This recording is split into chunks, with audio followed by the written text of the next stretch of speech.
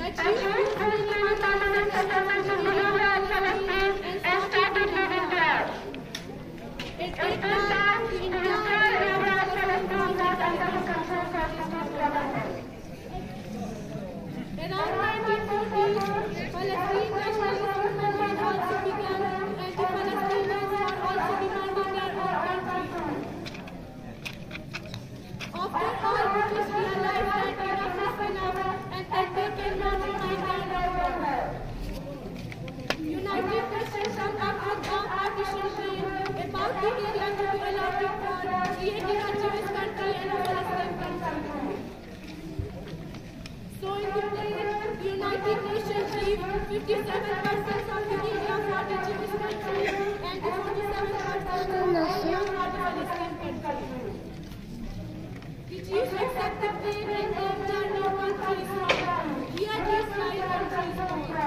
فلسطین